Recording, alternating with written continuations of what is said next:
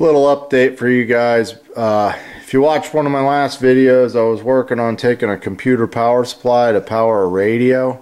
Well, here you go. I got a uh, car radio there with CD player, and I took the power supply and uh, from the computer, and I set up a DC uh, power testing station. So that'll give me 3.3 volts, 5 volts, 12 volts DC, and there's a ground, and you can use that for uh, testing out components.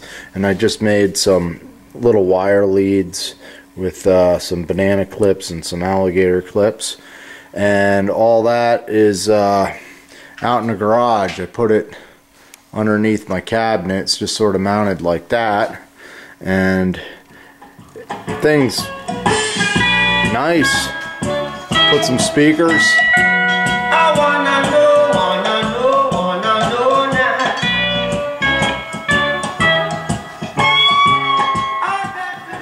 And another nice thing I like about it is when it's turned off, you have a clock right there. So that's a little project I've been working on. And I got one other thing to show you guys.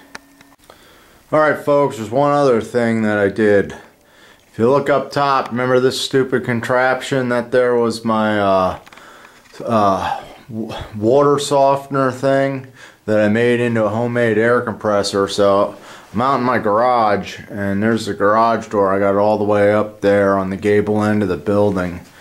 Thing's uh, fiberglass so it's real lightweight. I just have it strapped up there with uh, three straps. And then I ran the line down here and it comes down the wall and I put a regulator on here. So all I have to do is hit the switch and that'll crank it up and we can pump it up and uh, I've been using it out here. I got a couple uh, tractors out here, zero turns and uh, got a snow blower wheelbarrows, those tires go down, so I use it for those things. And uh, it's just nice having air out here. I didn't have any air before. Uh, I just pumped up that thing.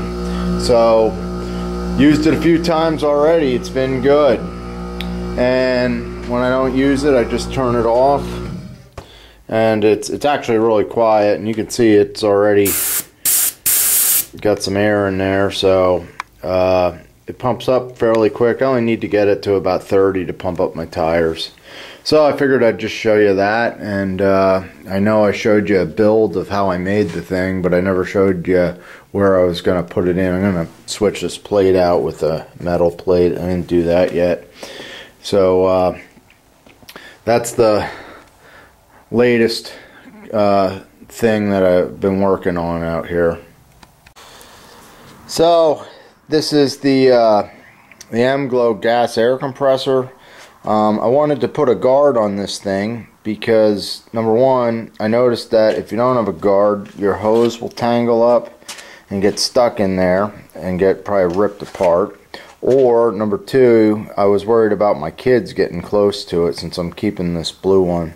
And um, if you didn't see my other videos, I uh, completely went through and repaired everything on this uh, gas air compressor, but it was missing a guard, so you guys never saw the guard, and I was thinking about welding something up, but I didn't have any metal or screen, so I just took some 2x4s and some quarter inch plexiglass, and uh, there's a piece of clear plexiglass on this side and a piece of clear on the inside.